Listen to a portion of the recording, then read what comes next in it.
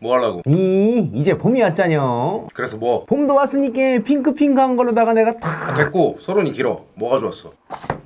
벚꽃 묻지 그게 뭐야? 이 봄마냥 핑크색으로다가 탑살떡 만들어서 벚꽃절임 올린겨 벚꽃 절임은 뭐야? 이 소금에다가 절여놓은 건데 그것도 식물 담가서 꽃차도 먹고 아 됐고 얼마야?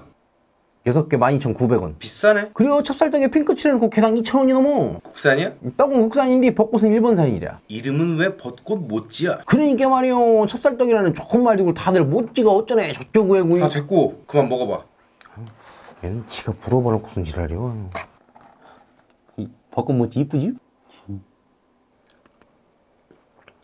맛은 어때? 그냥 찹쌀떡이요 벚꽃 향이 나? 안 나? 벚꽃 절임은 어때? 이거 뭐 떼어가지고 차에 먹어야 된다는데 택도 없을 것 같은데? 그럼 차로 해서 먹어봐.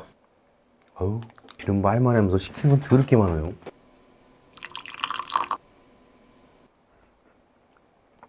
벚꽃 차는 어때? 어? 야 이거는 벚꽃 향 나고 좋다야 이거 따로 먹어야겠는데? 그래서 또 사 먹어 안 먹어? 이게 핑크핑크하니까 봄에 손님 올 때 한 번은 대접할 만하네